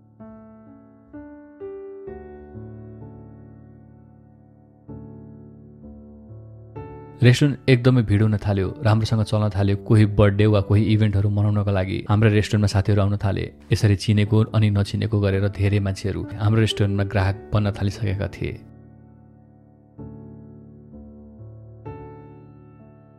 रेस्टुरेन्ट हामीले पत्याउनै नसक्ने हिसाबले राम्रो चल्न थाल्यो। कहिलेकाहीँ त रातिको बाह्र एक बजेसम्म पनि बिजी हुन्थ्यो र हामी एक दुई बजे बल्ल कोठामा सुत जान्थ्यौँ। बिहान नौ बजेदेखि खुल्थ्यो रेस्टुरेन्ट अनि राति त्यो समयसम्म खुल्थ्यो। भनेपछि अनुमान लगाउन सकिन्थ्यो रेस्टुरेन्ट कति राम्रो चलेको थियो भनेर। यसरी चार महिना भइसकेको थियो हामीले रेस्टुरेन्ट खोलेको पनि। हामी दुवैजना एकदमै खुसी थियौँ रेस्टुरेन्ट यसरी चलेको कारणले। तर त्यो खुसी क्षणभरको लागि मात्र हुन्छ भनेर कसलाई थाहा थियो र? एक्कासी कोरोनाको महामारी चलिदियो अनि नेपाल सरकारले लकडाउन गरिदियो। नेपालभरि सबैतिर लकडाउन हुन थाल्यो। त्यो समयमा धेरैको व्यापार बिजनेस डामा टोल भयो। त्यही सँगै हाम्रो पनि रेस्टुरेन्ट बन्द भयो। त्यो समयमा कसैलाई पनि बाहिर निस्किन अनुमति थिएन। गाडीहरू चल्दैन थिए मान्छेहरू आवत जावत गर्न पाउँदैन थिए पसलहरू खुलाउनै मिल्दैन थियो। हामी कोठाको कोठामा बसेको बसै गर्नु पर्थ्यो। उता भने हाम्रो त्यत्रो लगानी त्यत्रो सपना अनि कोठा भाडा सम्पूर्ण कुराहरू खर्चमाथि खर्च बढिरहेको थियो। महिनाको पचास पचास हजार भाडा मात्र तिर्नु पर्थ्यो। हो सङ्क्रमणकाल नेपालमा मात्र होइन विश्वभरमा थियो। तर हामीले सरकारलाई मासिक रूपमा कर तिर्थ्यौँ। हामीले किनेको सामानमा कर लगाएको हुन्छ। त्यसको पनि भुक्तानी हामीले गर्थ्यौँ। हामीले उठ्दा बस्दा हरेक कुरामा सरकारलाई अप्रत्यक्ष रूपमा कर तिरिरहेका हुन्छौँ। त्यति धेरै कर तिरेर पनि जब जनतालाई पर्छ सरकारले आफ्नो तर्फबाट गर्नुपर्ने जिम्मेवारीबाट पन्छिदिन्छ। महामारीको नाउँमा।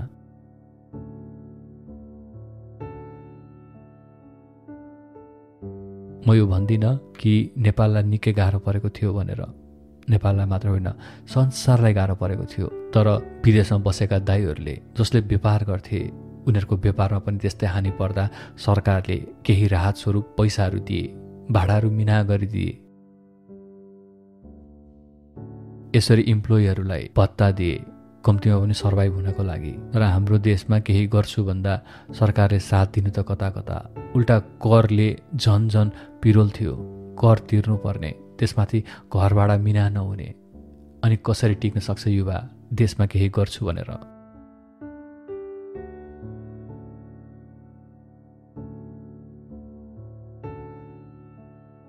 यसरी हामी लकडाउनको मारमा पिल्सियौँ केही समयपछि थोरै खुकिलो हुन थाल्यो। होटल अनि पसलहरू केही समयको लागि खोल्ने अनुमति पाइयो। तर समय पाबन्दीको कारणले पहिलाको जस्तो रेस्टुरेन्ट भन्ने चल्न सकेन।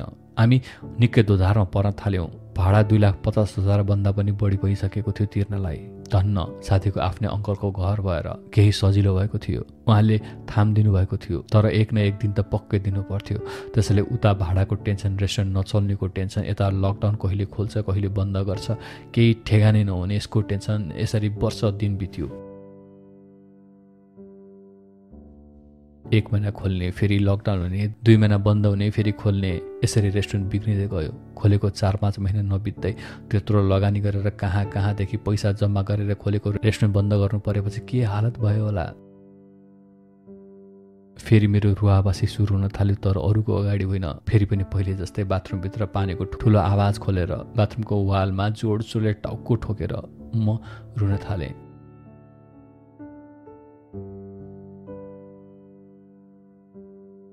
साथी उता त्यस्तै तनावमा थियो। मेरोभन्दा झन् उसको धेरै लगानी र पैसा फसेको थियो। के गर्ने कसो गर्ने केही थाहा थिएन। कहिले लकडाउन हुन्छ कहिले खोल्छ। हामीले केही एकेन्ड पाउन सकेकै थिएनौँ। उपाय नास्तिक भएर हामीले रेस्टुरेन्ट बेच्ने कुरा गऱ्यौँ। म के भन्नु? बेच्न त मन थिएन तर परिस्थिति त्यस्तै थियो।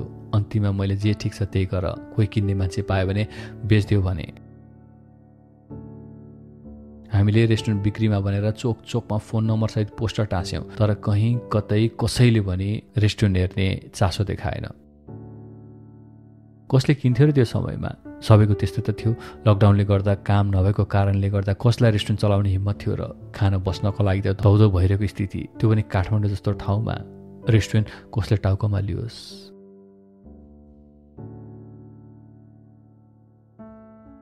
रेस्टुरेन्ट पनि बिक्री नहुने खुल्दा पनि नखोल्ने भएपछि म काम गर्न थालेँ। एउटा चिनेको दाइले काम लगाइदिनु भयो सुरुमा भाँडा माझ्नेबाट प्रवेश गरेको म हुँदाहुँदै कुकसम्म भएर आफ्नै रेस्टुरेन्टको मालिक भएको मान्छे एक्कासी फेरि म नयाँ काम गर्न थालेँ।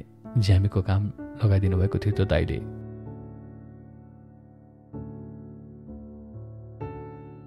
लकडाउन भए पनि काम भित्र गर्नुपर्ने भएको कारणले ज्यामीको काम भने चल्थ्यो। दिनभरि इट्टा सिमेन्ट बालुवा फलाम बोक्नु पर्थ्यो।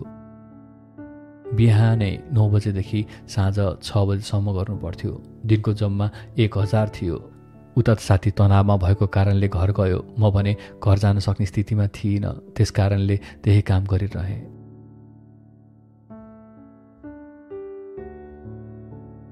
यसरी आत्मा मारी मारी आँसु तर तर्ती चुहाएर म ज्यामी काम गर्दा गर्दै पनि ठेकदारले ठग्थ्यो समयमा पैसा दिँदैन थियो। दुई तिन महिनामा बल्ल बल्ल एक महिनाको दिन्थ्यो कोठामा कहिले तेल सकिन्थ्यो त कहिले तरकारी। कहिले चामल हुँदैन थियो त कहिले खानालाई नुन तेलसम्म पनि हुँदैन थियो। कतिपटक त खाना बनाउँदा बनाउँदै ग्यास नै सकिएको थियो। ग्यास सकिएको रात भोकै पनि सुतेँ। त्यो स्थितिमा साँच्चै खल्तीमा एक रुपियाँ पनि थिएन। साथीहरूलाई मागे कसैले पनि दिएनन्। साथ दिन सकेनन् वा दिएनन् तर अह कसैले पनि ला भनेर दिएनन्। कारण सबैलाई पैसाको जरुरत थियो होला। काम कसैसँग पनि थिएन। कोठाबाट सबैलाई तिर्नु पर्थ्यो। सबैलाई खान पिउन पर्थ्यो। सबैलाई गाह्रो थियो। त्यसकारण मैले कसैलाई गुनासो गर्न सकिनँ। गर्नुपर्ने ठाउँ पनि थिएन। मेरो जस्तै अर्को पनि त हालत थियो होला। त्यहाँ ठेकदारले समयमा पैसा नदिएपछि अर्को काम पनि गर्न थालेँ। कालीमटीमा तरकारी लोड अनलोड गर्ने। बिहानै चार बजे उठेर कालीमटी जान्थेँ।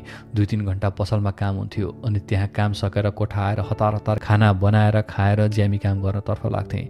कालीमाटीमा बिहान मात्र काम हुने भएकोले बिहान उता अनि दिउँसो यता काम गर्थेँ।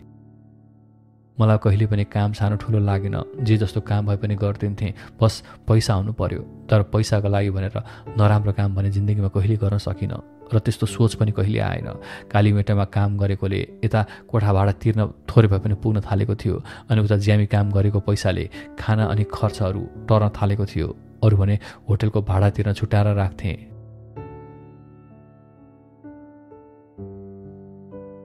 लकडाउन अलिअलि खुकुलो हुँदै गयो। मैले काम गर्न थालेको पनि तिन चार महिना हुँदै थियो। साथी काठमाडौँ फर्कियो। तर काठमाडौँ भने पहिला जस्तो व्यस्त होइन सुनसान नै थियो। सबै मान्छे गाउँतिर गएका थिए। सायद त्यसैले पनि त्यस्तो व्यस्त सहर सुनसान थियो।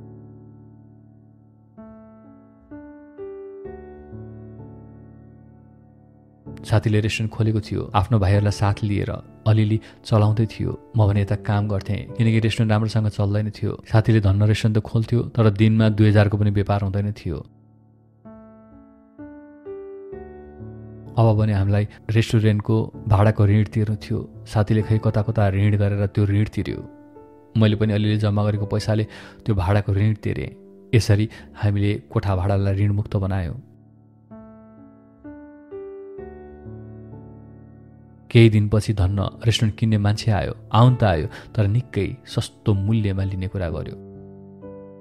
सल्लाह गर्यो बरु यो भाडा तिरेर बस्नुभन्दा बेच्थ्यौँ अब यो लकडाउन खोलेपछि फेरि कहिले बन्द हुने हो अत्तो पत्तो छैन। हाम्रो दुबईको सहमतिमा बेच्ने कुरा भयो। साढे सोह्र लाखमा खोलेको रेस्टुरेन्ट। त्यसपछि अझ कति सामान थप्यो त्यसको हिसाब किताब केही छैन। कति महिना बन्द गरेर भाडा मात्र तिर्यौँ। त्यो पनि केही हिसाब किताब छैन। सुरुमा खोल्दा मात्र साढे सोह्र लाख लागेको थियो तर किन्ने मान्छेले बाह्र लाखभन्दा नदिने कुरा गर्यो नत्र लिन्न भन्यो। के गर्नु? माहौल त्यस्तै थियो। हामी पनि बाध्य भयौँ। बाह्र लाखमै दिनको लागि। त्यो पैसा पाएपछि सामान लिएको ठाउँमा बाँकी थियो तिर्नको लागि। त्यो तिर्यौँ भाडा तिर्यौँ त्यसपछि दस लाख बाँकी भयो। मैले डेढ लाख लिएँ। त्यो पैसा त्यहीँ पहिले भाडा तिर्नको लागि साथीहरूसँग मागेको थिएँ। त्यही तिर्दिएँ। बाँकी पैसा सबै साथीले लियो। कारण उसको पैसा मेरोभन्दा धेरै थियो अर्थात् लगानीमा। मेरो त जम्मा छ लाख जति मात्र लगानी थियो। तर पछि बन्द भएको कारणले भाडा पनि दुवैजनाले आधा आधा गरेर तिरेका थियौँ। बिचरा साथीले सम्पूर्ण ऋणहरू तिरेर तनावका साथ घर फर्कियो र उतै बस्न थाल्यो। तर म भने त्यहीँ काठमाडौँमा बसेर त्यही काम गर्न थालेँ। दिनदिनै बिहान भारी बोक्ने अनि दिउँसो ज्यामी काम गर्ने।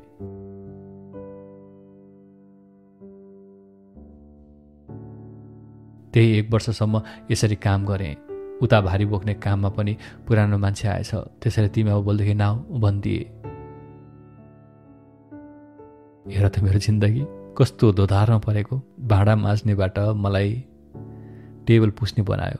टेबल पुस्नेबाट प्याज काट्ने बनायो। त्यसपछि मलाई कुक बनायो। रेस्टुरेन्टको साउ बनायो। त्यसपछि ज्यामी बनायो। भरिया बनायो। अब त भरियाको जागिर पनि नखा भनेर लात हानिदियो।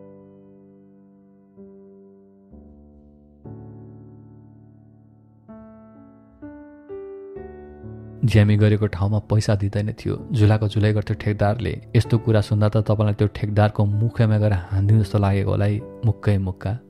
तर म म सहनशील थिएँ। म त्यस्तो गर्न पनि सक्दिनँ थिएँ। म शून्यमा थिएँ। न मसँग पैसा थियो न सपना साकार गर्ने क्षमता नै। के भएको थियो होला मेरो हालत? म मेरो सपनाको त्यति नजिक थिएँ। रेस्टुरेन्ट खोलिसकेको थिएँ चलिसकेको थिएँ सोचेको थिएँ आमालाई काठमाडौँमा लिएर आउँछु तर मेरो हालत दरिलोसँग खुट्टा टेक्दा टेक्दैको खुट्टा लल्याक लुलुक पाङ्गेर घुँडा टेकेर लडेको जस्तो। घुँडा बजारिँदा कस्तो दुख्छ मेरो हालत त्यस्तो भएको थियो।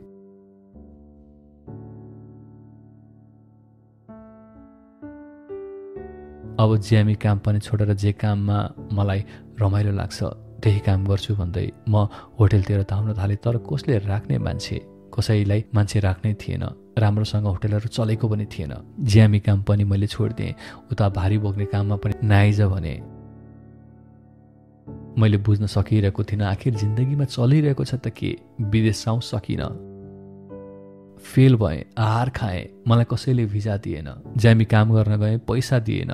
आफ्नै रेस्टुरेन्ट खोलेँ खोल्ने अनुमति पाइनँ। भारी बोक्न गएँ बोक्ने भारी पाइनँ। यस्तै प्रश्नले राति सुत्न सक्दैन थिएँ। कतिको जिन्दगीमा प्रेमी प्रेमिकाले धोका दिएर तनाव भएको राति सुत्न नसकेको कथाहरू पनि सुनेको थिएँ। सुन्छु भने तर मेरो जिन्दगीमा त्यस्तो केही थिएन।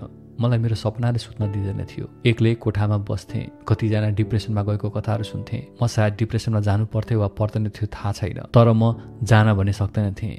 त्यो जान नसक्ने भनेको पहिला जस्तै साथीहरूसँग घुम्नको लागि कति बोलाउँथे।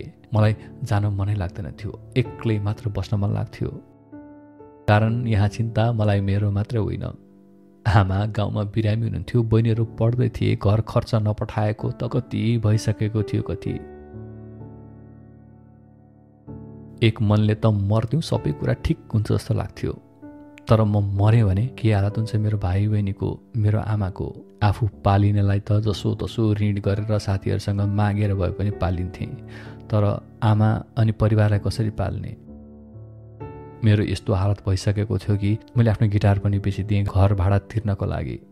यहाँसम्म कि मोबाइल पनि बेच्दिएँ। सम्पत्तिको नाउँमा एउटा सानो सुकुनको सिक्री थियो त्यो पनि बेच्दिएँ। म जेरोमा होइन माइनसमा आएको थिएँ। अब मसँग सम्पत्तिको नाउँमा फोन गर्नको लागि एउटा सानो फोन मात्र थियो। अब यो स्थितिसम्म आउँदाखेरि लकडाउन खुल्दै गयो। कामहरू पाउन थाल्यो। तर यो पटक भने मलाई काम गर्ने मन लागेन। कथाको पहिलो चरणमै भनेको थिएँ मलाई काम सानो ठुलो केही लागेन कहिले पनि। केही काम गरेर पनि अप्ठ्यारो लागेन तर यहाँ आएर भने मलाई काम गर्ने मन लागेन। हरेक पलमा जति पीडा भए पनि खुसी भएर हिँड्ने मान्छे मलाई अब नैराश्यताले घेर्न लाग्यो।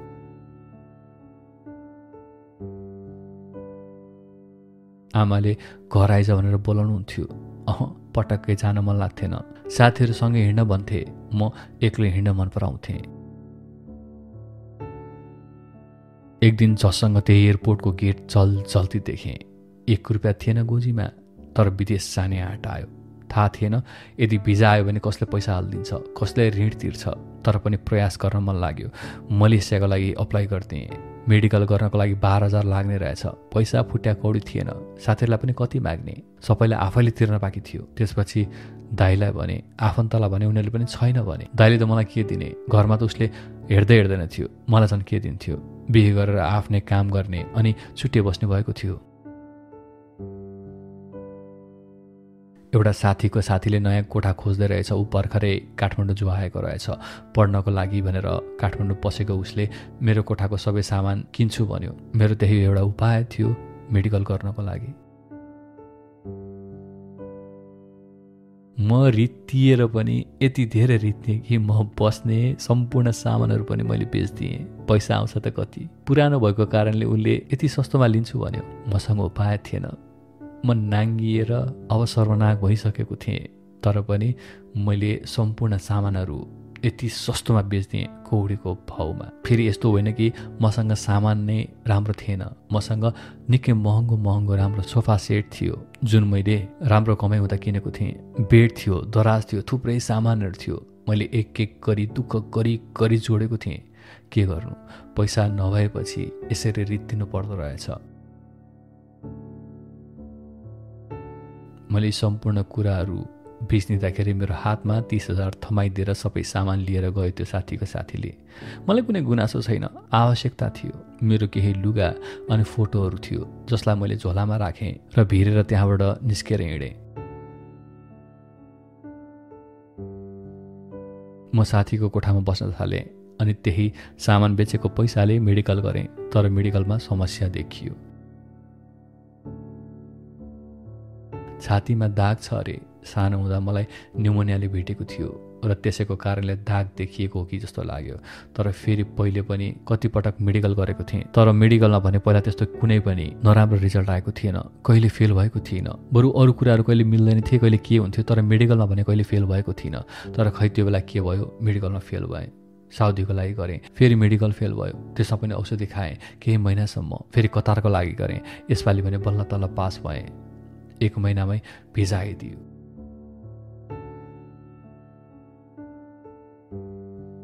अब पर्यो अर्को आपत पैसा कहाँबाट खोज्ने होला कताबाट ल्याउने होला केही थाहा थिएन। भिसा आइसकेको थियो।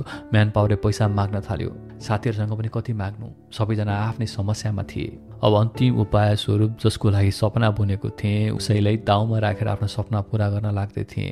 अर्थात् आमालाई मैले ऋण खोज्न लगाइदिएँ। तर पनि हेर न कसैले दिएन कसैले फुट्याए कौडी पत्याएन कहाँबाट ल्याउने के गर्ने चिन्ताले छटपटाउन थालेँ।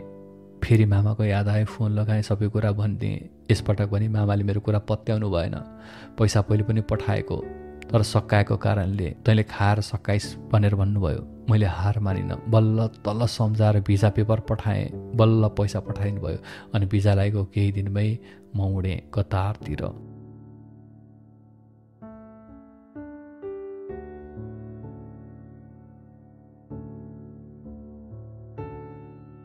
केही साथीहरू एयरपोर्टसम्म छोड्न आएका थिए। मलाई फुलमाला खादा लगाइदिएर विदा गरे। करिब चार पाँच घन्टापछि कतारको एयरपोर्टमा झरेँ। तिन चार घन्टा कुरेपछि बल्ल कम्पनीको गाडी लिन आयो। गाडीले कम्पनीको अफिसमा लगेर छोडिदियो अनि त्यहाँ सबै डकुमेन्ट मिलाएपछि बस्ने ठाउँमा लग्यो। आएको भोलिपल्टदेखि नै काम सुरु भयो। अहिले म कतार आएको पनि आठ महिना भयो। म यहीँ कतारको एउटा होटलमा काम गरिरहेको छु। थाहा छैन म कहिलेसम्म यहाँ बस्छु कहिलेसम्म ऋण तिरेर सकाउँछु। ऋण त लाखौँ छ सपना करोडौँको छ। पुरा हुन्छ वा हुँदैन थाहा छैन। आमालाई खुसी राख्न सक्छु वा सक्दैन थाहा छैन। कहिले फर्किन्छु कुन अवस्थामा फर्किन्छु थाहा छैन। म यता आएदेखि सुरु सुरुमा त निकै बिरामी परेँ। धेरैचोटि बेहोस पनि भएँ कहिले स्वस्थ हुन्छु त्यो पनि थाहा छैन। नेपाल अनि कतारको मौसम नमिलेको कारणले शरीरलाई कस्तो असर पर्यो त्यो पनि थाहा छैन। यहाँ एकदम गर्मी हुन्छ तर अहिले अलिअलि बानी पर्न थालेको छ। यसको ब्यालेन्स कहिले हुन्छ त्यो पनि थाहा छैन। अहिले तेइस वर्ष पुगेँ चौबिसमा लागेँ। आफ्ना सपनाहरू खोज्दै गरिबीलाई पन्छाउँछु वा पन्छाउँदिनँ थाहा छैन। आमालाई खुसी राख्न सक्छु वा सक्दिनँ त्यो पनि थाहा छैन।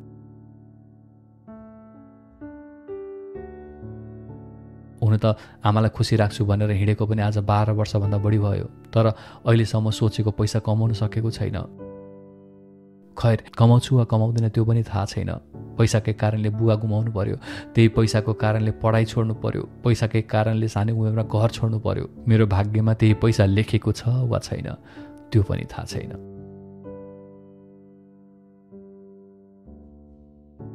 साइग्रेससँग मनका कथामा यो कथा टुटेको सपना यहाँलाई कस्तो लाग्यो? यो कथाको पात्र तिलकलाई यहाँले के भन्न चाहनुहुन्छ? कृपया आफ्नो आफ्नो मनबाट जे आउँछ त्यो कुरा भनिदिनु होला लेखिदिनु होला। तर याद गर्नुहोस् उहाँको लागि प्रार्थना पनि अवश्य गर्नुहोला हामी साइग्रीसँग मनका कथाको अर्को एपिसोडमा भेट्नेछौँ। त्यतिन्जेललाई आफ्नो मनलाई एकदम खुसी राख्नुहोला र साथै आफ्नो मन खुसी हुँदा तिलको लागि प्रार्थना गर्नुहोला। नमस्ते।